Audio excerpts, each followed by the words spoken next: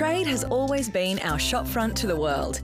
Now, free trade export agreements are opening up new opportunities for all sorts of businesses. Free trade export agreements are vital to the ongoing success, not only of the Australian citrus industry, but our supply chain, including all of our staff along the way. To hear more real stories, search Open for Business. Authorised by the Australian Government, Canberra.